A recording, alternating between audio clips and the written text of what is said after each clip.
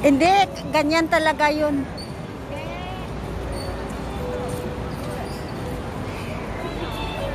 Bro, naka-open yung flashlight mo. Paano patayin yan?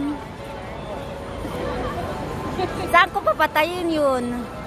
Oh, naka-off na siya.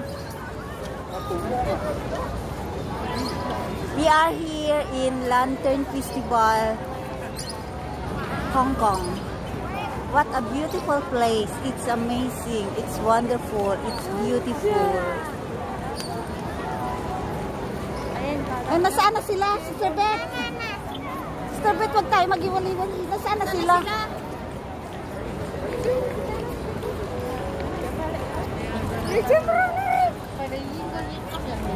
Ay, ang ganda. Beautiful, beautiful.